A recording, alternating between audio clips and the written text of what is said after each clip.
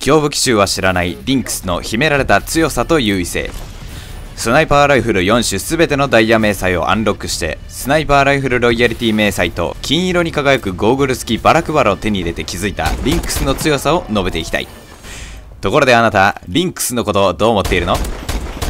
最初のスナイパーライフルだからって甘く見てはいないだろうか。巷では残念な子として扱われているのがどうにも気に食わないのでこの動画を作ることにした。今回使っているのは300キロ報酬のリンクススネークオイル。ハンドリングが上がりスペリント状態から復帰して腰ダメに移行するまでの時間が短くなる。スネークオイルの意味は昔アメリカ人が中国人に教えられたヘビの油由来の万能薬を作ろうとしたが本国にはそのヘビがいなかったので塩がないので重曹を入れてやろう的な感じで作った薬は見かけ倒しで全く効果がなかったことがバレてインチキ詐欺当てにならないものという意味になったそうだ。私はこれまでにいくつかの武器解説動画を上げてきたが、端くれであると解説という体で動画を作っているものがあろうことかこの武器を使って解説しているとは何たる皮肉か。まあそういうことは置いといて。リンクスの基本的な立ち回りは敵が来そうなポイントを遠くで伏せながらスコープガン覗きで見張りチクチク刺して敵の弱体化や食べ残しの回収などでキルを取ってスコアを稼ぐというより勝利のための雑用係に回ることが多いというかそもそも使っている人がいない狙撃兵がポイントマンを追い抜いて突撃していくようなことはゲームならではの話であり、それができるスナイパーライフルは一応モールスというのがあるが、リンクスはより狙撃兵らしい立ち回りをするのにマッチしている。狙撃兵らしい立ち回りというのは味方から遠く離れた位置に陣取り味方の死角になる場所にいる敵を報告無力化するなどミッションを成功させるために地味だが必要な役割だ AW でもそんなことは一応できるが、ほとんどは味方の背中を見守りながら、縦長の大通りを見張り、威圧しながら敵の進軍を遅らせたり、敵のスナイパーを掃討したり、弱体化させて味方のキルに貢献したりなど、まあお世辞にも花があるとは言いにくい。しかしもし君が今から進もうとしている道の遠くで敵のスナイパーが見ているとしたら、君はそれでもその道を選ぶだろうか。リンクスの基本ダメージは70で、どの距離でどの部位に当たっても相手は瀕死になり、ヘッドショットなら一撃で仕留めることができる。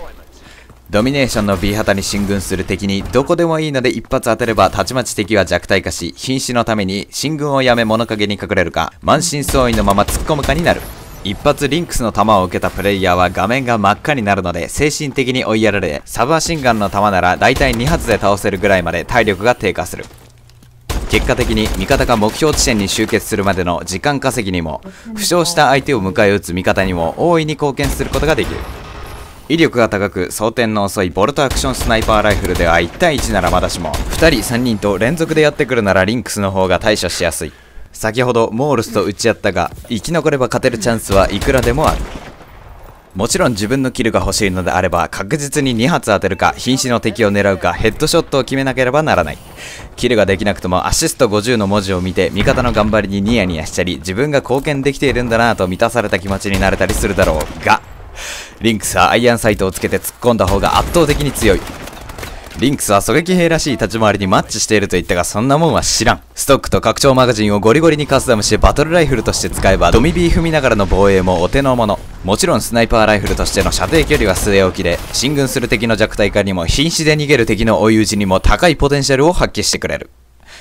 反動が大きくて使いにくい、もう少し反動が小さければという声はそこそこ聞くのだが、アイアンサイトはそもそもの倍率が低いので、画面揺れは小さく、それでも気になるなら、射撃する時だけしゃがみ姿勢か伏せれば良いだろう。アイアンサイトの解放条件はヘッドショット50回と結構ヤバめ。実際私もこれを出すのには相当苦労した。1試合に1、2回ヘッドショットが取れればいいやと思いながら進めるのが健康的だろう。ストックはヘッドショット10回で解放。バトルライフルとして立ち回るならやはりストックはあった方が良い。拡張マガジンはヘッドショット60回。ここまで来ればもうダイヤ迷彩は目の前だろう。リンクスのダイヤ迷彩を取るときは可変ズームとストックの組み合わせがやりやすいと思う。サースティは5回目のキルだけリンクスに切り替えよう。しかし頑張ってフルカスタムリンクスを作ることができても、プレステージを進めるとアタッチメントが全てやり直しになってしまうので、踏ん切りがつかない人も多いと思う。私もやっとの思いでモールスアイアンサイトを出した後に丸ボタンを押すのは時間がかかった。プレステージマスターの先にマスタープレステージというものがあり、ここではランクを上げてもアタッチメントのチャレンジはやり直しにならず、一度解放してしまえば以後ずっと使えるようになる。他にもプレイヤーカードのチャレンジが引き継がれたり、プレステージ前に必ず一つエリート武器がもらえるなど、いいことずくめだ。もう二度とストックのための腰ダメキルチャレンジや角マガのためのダブルキルチャレンジをやり直さなくて済むようになるのだ。だから君、マスタープレッセージになりたまえ。そしてリンクスアイアンサイトの強さと面白さを体験してほしい。最近クランに入ってそこのクラメンと対マンしたら実はガチ勢で見事にボコボコにされてへこみそろそろ立ち直れそうかなというくらいの時期の道後 S でした。